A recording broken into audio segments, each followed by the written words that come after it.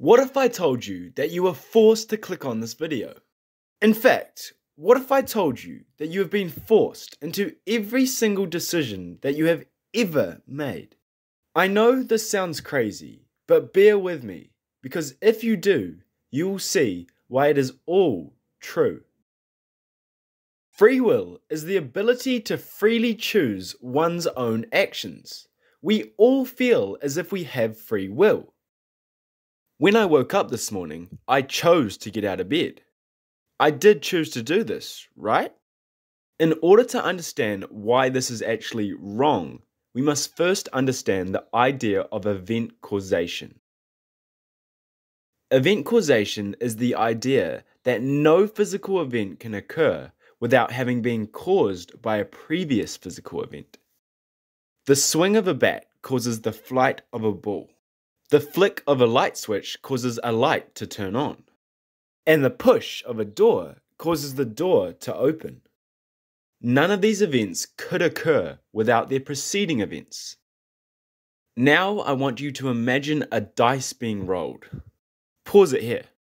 If we could know everything about the dice's rotation, velocity, mass, size, and shape, as well as exactly how the force of gravity and friction acts on the dice, due to the event causation, we could determine what number it lands on. It is for this reason that the physical world is deterministic, meaning that all events are caused by past events, such that nothing other than what does occur could occur. This shouldn't be too hard to grasp, but now we're going to play a game to see how and why determinism also applies to everything we think and decide. Think of a color, any color. Once you have your color, think about why you chose the color that you chose. Were you able to freely choose the color that you chose? It is likely that you felt as if you were the one who decided what color you chose. But if we look closer, we see that other than this feeling that you have, there is no other evidence to support the idea that you were the one who chose the color that you chose. Every event in your life can be thought of as a ring in a long chain of events, where each event leads to another event. Throughout this chain of events, you have learnt a variety of different colours.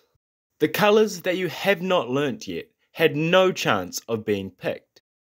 Of the colours that you do know, some colours are likely to come to mind more easily due to stronger neural connections in the brain for these colours. These neural connections have been created and strengthened by a combination of many past experiences and events in your life. In addition to this, leading up to my question, you are likely to have experienced many different events that shaped the mindset that you're in right now, which would in turn have impacted your answer to my question. As a result, if we were to know every event that influenced you throughout your life, from the synthesis of your genes to the temperature of the room that you're watching this video in, we would be able to accurately predict your next decision.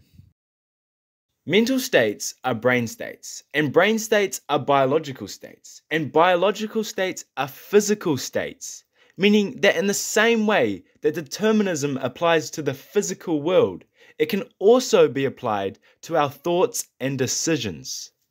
Some people argue that a being propelled by a mind can create new thoughts that are not influenced by past events. But why would we make this assumption?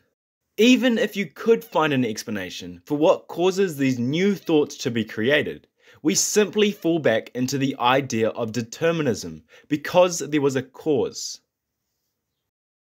Knowing that every decision in your life is already determined can be daunting, but it doesn't mean that we should just give up, because that in itself is an event that will likely have very negative impacts on your future.